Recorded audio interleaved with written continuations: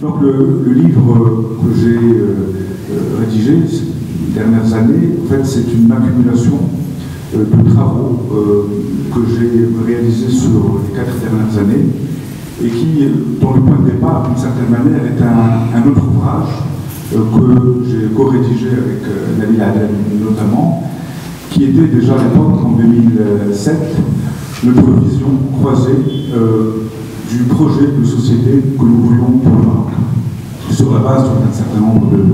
de, thématiques euh, d'une importance extrême. Euh, le Maroc sein des enjeux géopolitiques mondiaux, donc les relations internationales du Maroc, le rôle de l'éducation, le rôle de la jeunesse, la culture, tous les aspects.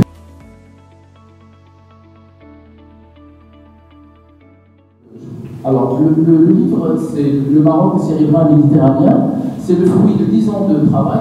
mais de 10 ans de voyage dans six pays qui m'ont intéressé, qui sont le Maroc, la Tunisie, l'Algérie, l'Égypte et Israël.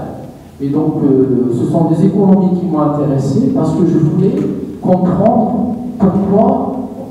comment on peut construire un pont entre les deux rives de la Méditerranée et comment les deux économies peuvent être complémentaires et on, on, comment on peut avoir un avenir commun.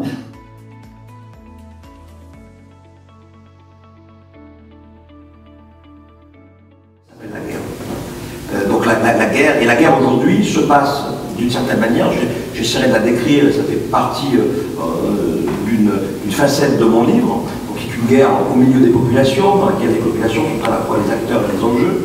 j'y reviendrai. Donc la, guerre, la guerre de tous contre tous, c'est en même temps euh, une, réaffirmation d'identité, puisque vous avez évoqué euh, l'accroissement des inégalités, et dans cet accroissement des inégalités, les, les déséquilibres qu'elle crée, en créant des concentrations et des poches de pauvreté,